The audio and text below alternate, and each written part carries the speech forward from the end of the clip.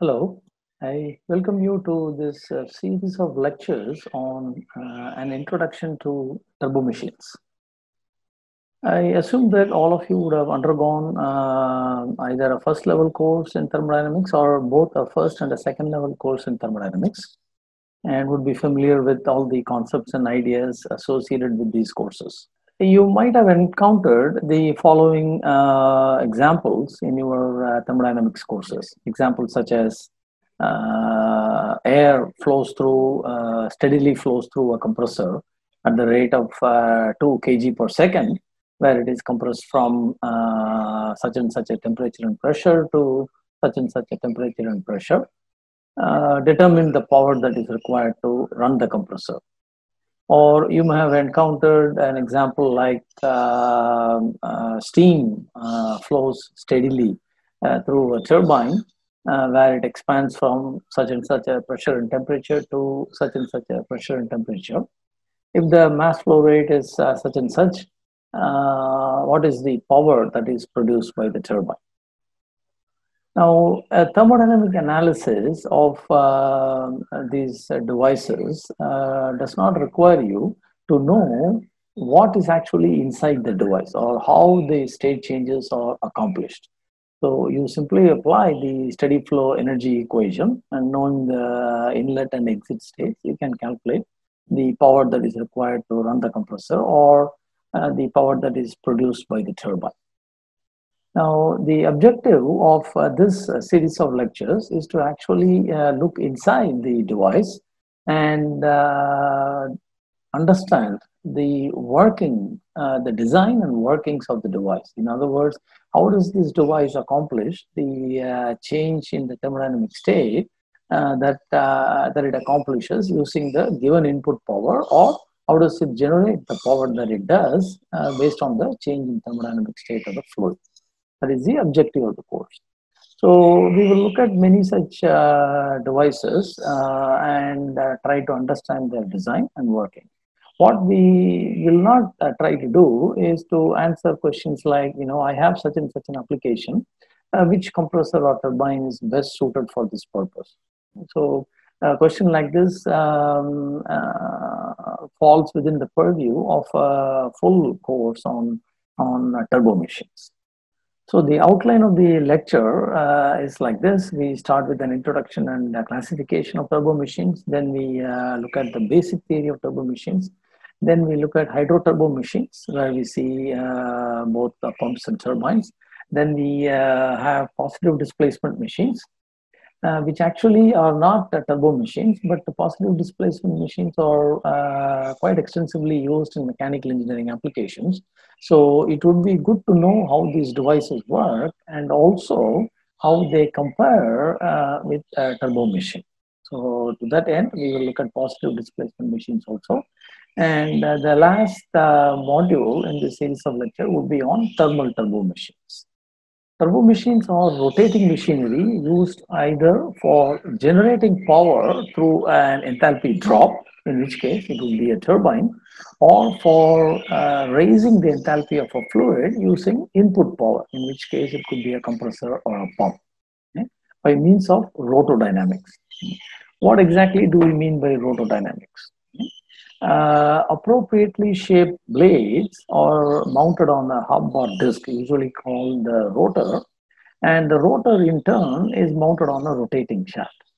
Now, the shape of the blade is such that as the fluid flows uh, into the device and is forced to flow through the passage between the blades, is, its enthalpy changes depending on whether the machine is power producing or power absorbing. In other words, uh, the uh, fluid that flows through the passage, whose shape is determined by the shape of the blade itself, and depending on whether power is uh, supplied or absorbed, uh, the enthalpy of the fluid, the enthalpy of the fluid increases or decreases. Okay? So, in the case of a power producing machine, the enthalpy of the fluid decreases and is realized as work. And in the case of power absorbing machine, enthalpy of the fluid increases and uh, as a result of the power that is supplied to the machine. Now, you may recall from your course in thermodynamics that the specific enthalpy H is the sum of the specific internal energy plus the term P over rho.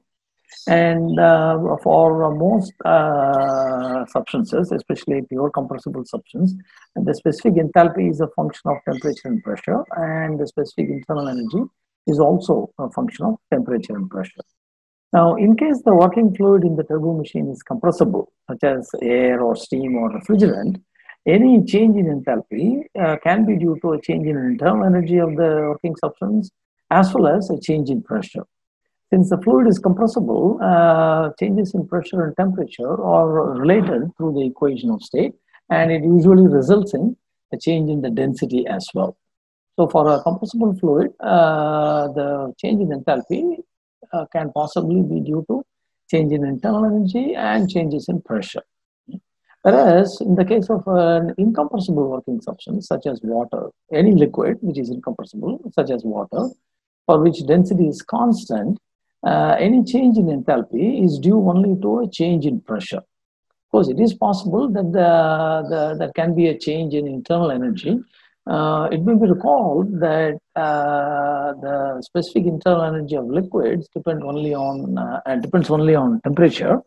And uh, in the case of uh, turbo machines that handle liquids, there is very little change in the temperature of the fluid as it goes through the machine. So the flow is practically isothermal which means there is no change in the specific internal energy of the fluid. So in the case of liquids, any change in specific enthalpy is due entirely to a change in pressure. So consequently, we can actually uh, interpret uh, this statement, uh, enthalpy drop, uh, in the case of a liquid as a pressure drop and increase in enthalpy of the fluid in the case of liquid as increase in pressure. So uh, when power is extracted, that means you know the, there is a pressure decrease in the case of a liquid, and when power is supplied, such as in a pump, uh, the pressure of the liquid increases. Turbo machines may be classified in several different uh, ways and we will actually uh, look at classification of turbo machines in these two uh, ways. Okay, the first one classifies the machine according to the type of uh, fluid uh, that it handles. So, if the machine handles a compressible fluid such as air, steam, or refrigerant, then it is referred to as a thermal turbo machine because there is a change both in pressure and temperature of the fluid. In case the turbo machine handles uh, liquids such as water, oil, or any other liquid, then it is referred to as hydro turbo machines. It is only change in pressure. The, the term hydro refers to water, but it is used in general to classify or denote any turbo machine that handles liquids. Okay. Now, uh, we can also classify turbo machines based on whether they are power producing, namely turbines, or power absorbing, uh, if it is power producing, it can be a steam turbine, a gas turbine, or a hydraulic turbine, which of course uses water as the working substance. In the case of a power absorbing machine, we could have a compressor, fan, or blower, all of which handle air, or we could have a pump which handles any liquid, including water. Here we have uh, an application of a turbo machine, namely the centrifugal pump. As mentioned earlier, uh, there is a shaft and the hub plate is mounted on the, uh, on the shaft. The blades are fixed to the hub plate and as the shaft rotates in this direction, the water is drawn in through this uh, part of the pump called the eye in an axial direction. So the flow, water flows in an axial direction. Then, because of the uh, power supplied to the impeller, the water is forced to turn direction and flow in a radial direction through the blade passage, as you can see here, through the blade passage, and then it leaves through the casing or, uh, or the passage that is located here. So this assembly, the hub plate together with the blade is called the impeller, and the passage between the uh, casing and the impeller is actually uh, volute shaped. Uh, it is volute shaped because as more and more fluid uh, comes from the impeller onto the casing, the area of the casing increases to accommodate uh, the increasing amount of fluid uh, in order to maintain almost a constant velocity in the casing for the fluid to be sent out. Okay. You may also notice that in this case that the uh, direction of rotation of the impeller is uh, clockwise, whereas the blades actually curve in this direction, which is uh, in the opposite direction to the direction of rotation. Such blades are usually called backward curved blades because the direction of curvature is in an opposite direction to the direction of rotation. The next example uh, or next application that we have is an automotive turbocharger. Uh, you are probably familiar with the turbocharger in the context of uh, diesel engines. These are used uh, in the intakes of diesel engines to compress the incoming air so that a higher mass of air may be admitted into the cylinder, uh, which increases the volumetric efficiency of the engine. So here we see a centrifugal compressor, which is located on the right. And just like the centrifugal pump, uh, its counterpart, the centrifugal pump, uh, air in this case enters uh, axially and then because of the supplied power it flows out radially and exits through the, uh, the volute casing. Uh, you maybe recall that the cross-sectional area of the volute casing increases in the direction of the uh, rotation for a, for a pump or a compressor. So we can judge by the increasing cross-sectional area here that uh, the, uh, the centrifugal pump spins in a clockwise direction when viewed from this end.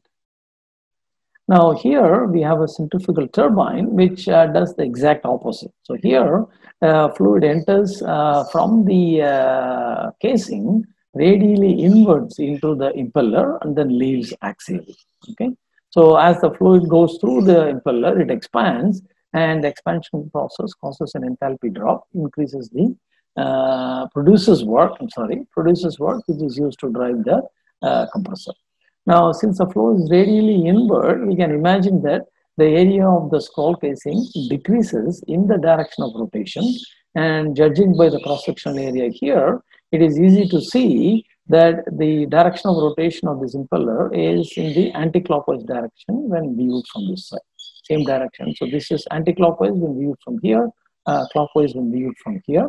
So it is easy to see that the turbine drives the compressor.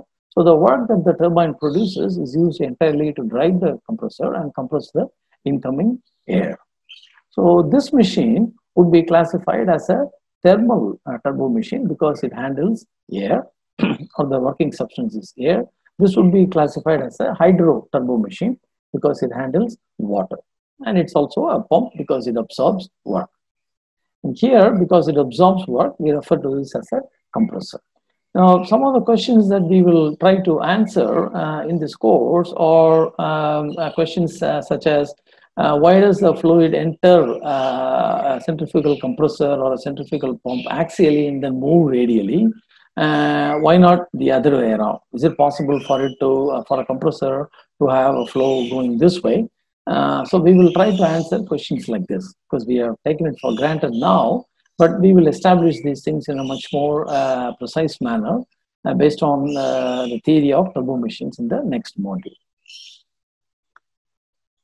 So the next device that we look at is the so-called gas turbine. This particular uh, device is, to, is used for, is land-based and used for generation of uh, power. So here, as you can see, the blades are visible clearly and they are mounted on a shaft. What is that? In contrast to this machine and this machine, where the flow through the uh, blades is actually in the radial direction. Notice that the flow may enter axially, but when it flows uh, in the passage between the blades, the flow is predominantly in the radial direction. There is no axial motion. Similarly, here also the flow is in the radial direction as it goes through the uh, passage between the blades. Whereas in this case, when the fluid flows through the passage between the blades, the flow is in an axial direction or along the direction of the shaft. So you can see that you know these blades are usually mounted on a disc, which in turn is mounted on the hub. And as the uh, air, which is the working substance here, flows through this blade, it is uh, progressively compressed and you can also see that from the uh, height of the blades. You can see that the height of the blades uh, keeps decreasing in the direction of flow as the fluid is, uh, working substance or fluid is compressed. Then of course we have a combustor where uh, fuel is uh, burnt and heat is supplied to the working substance. and the working substance then undergoes expansion in a turbine here. So uh, we can uh, infer that the process in the turbine, uh, or this is the turbine, or the process in the turbine is expansion by looking at the size of the blade. So you can see that as the fluid expands, it uh, requires more and more uh, volume or cross-sectional area to go through, and consequently the size of the blade also keeps increasing as the fluid keeps expanding. So this is the turbine section of the blade. This is the compressor section. Uh, contrary to the centrifugal compressor, here the turbine produces uh, power not only to run the compressor, it also produces, uh, produces power to run a generator, which in turn is used to generate electricity. This is also a, a gas turbine, but unlike the previous one, this one uh, is actually uh, used in aircraft engines for uh, propulsion purposes. So here uh, we see similar uh, types of components. We see uh, a fan here and compressor blades. Compressor blades can be identified here like this. So here is the combustor and here is the turbine section. And we can infer that this is the turbine section based on the fact that the, the diameter increases, the cross-sectional area increases. Uh, here, uh, in contrast to the previous one, we see uh, multiple uh, sets uh, uh, of compressors. So we see a fan distinctly, and we see one set of blades here, which is usually called the intermediate pressure compressor. We see another set of blades here, which is usually called the high pressure compressor. Now, as the fluid goes past the combustor, you can see rings of turbine blades. So we see one uh, uh, ring of turbine blades here, which is the high pressure turbine.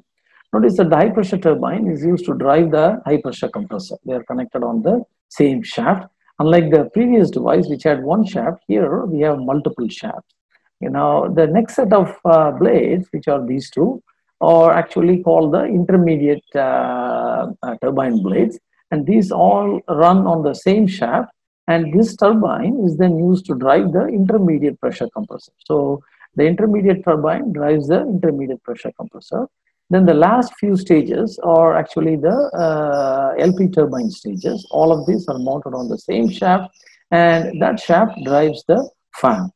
So you can see three uh, sets of uh, uh blades or three sets of uh, compressor turbines and each set is driven uh, on its own uh, shaft by uh, the corresponding turbine which means that the shafts in this uh, in this engine are actually hollow. So the outermost shaft is actually the uh, high pressure uh, turbine compressor set shaft. The inner next inner one is the, actually the shaft corresponding to the intermediate pressure compressor and turbine. And the innermost shaft is the one which runs the fan in this case.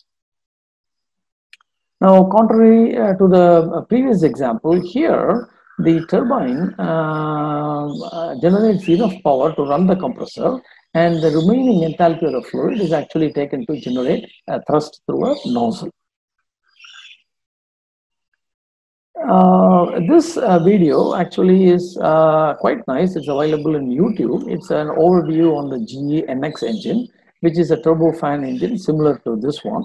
I recommend this video very highly. It is um, uh, it's put together very nicely and uh, easily understandable and it describes a lot of interesting details, uh, especially uh, relating to turbo machinery aspects of the aircraft engine. So I encourage you to watch this uh, video. So these uh, machines that we looked at so far, as I mentioned earlier, the uh, gas turbine, the aircraft engine, all these would be classified as axial machines and the two axial thermal turbo machines because air is the working substance in these, uh, in these turbo machines. The next one is also a thermal turbo machine and it is also an axial machine, uh, but it is an axial uh, steam turbine. So this is the GE uh, supercritical steam turbine, which is used for generating uh, power in, uh, in steam power plant. Once again, you see um, uh, multiple um, uh, sets of uh, blades here. this one is the high pressure turbine and we can infer that it is high pressure turbine judging by the increase in size of the uh, blades from inlet to uh, outlet, you can see that the increase in size is not very much. So normally the first stage of a turbine uh, does not uh, uh, allow the fluid to expand a whole lot because we are operating at supercritical pressure.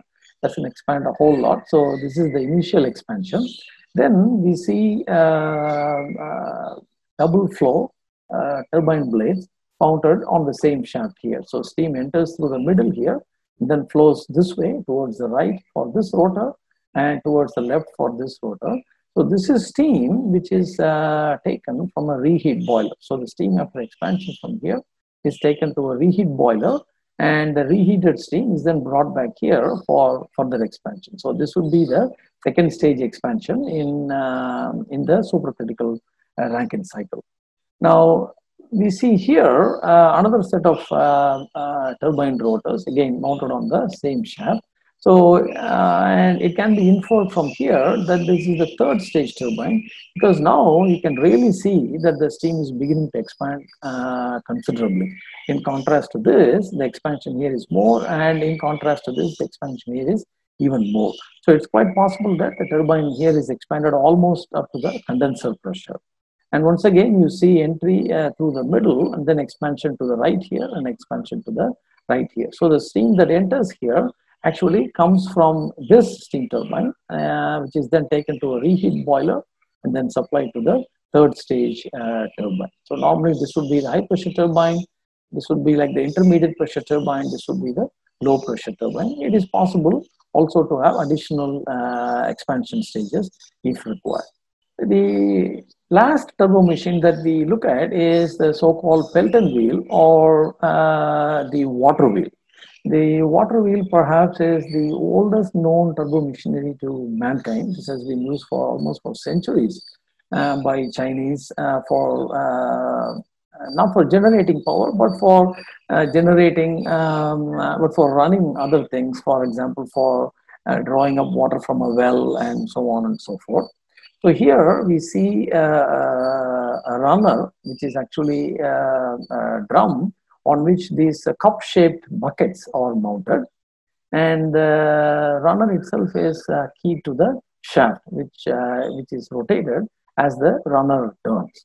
Now, water uh, is taken from a reservoir at a higher elevation, and then it comes through this pipe, which is called the penstock, and this water impinges on the buckets turning the wheel in this way. And uh, again, if this uh, wheel were to be connected to a generator, there is sufficient head for the water here, then this could be connected to a generator to generate power. Okay, and the flow through the uh, uh through the nozzle is regulated uh, by means of this spear, which is uh, pushed in or pulled back, and that allows the flow rate to be controlled. If it is pushed in, then the flow rate obviously decreases. If it is pulled back, the flow rate increases. Now, one interesting aspect of this um, Pelton wheel is that it does not fit into the definition uh, of a turbo machine that we uh, gave uh, in the beginning. Uh, it was said that uh, turbo machine is a rotary machine in which there is an enthalpy drop or enthalpy uh, rise. Now, this being a turbine, there should be an enthalpy drop, which should be converted into power. But in this case, there is no change in enthalpy of the fluid. The buckets are shaped in such a way that you know the fluid impinges on the bucket and there is a change in the direction of the water flow. And the change in direction causes a change in momentum, which is then converted into a force on the rotor, which is then converted into power. So uh, this actually does not fit into the classification that we mentioned earlier because the enthalpy remains constant. But the Pelton wheel is a widely used turbine so we will have a detailed uh, look at the runner, how it generates power, and we will also uh, look at the design and working aspects of the Pelton wheel uh, later on when we talk about hydro turbo machines. Now this machine would be classified as a hydro turbo machine because the working fluid is water and uh, the, the flow in the rotor, strictly speaking, is uh, neither axial nor radial. So this is a very interesting uh, device in contrast to all the other devices that we looked at earlier. Now, this concludes our discussion on introduction and classification of turbo machines. And in the next lecture, we will take up the basic theory of turbo machines.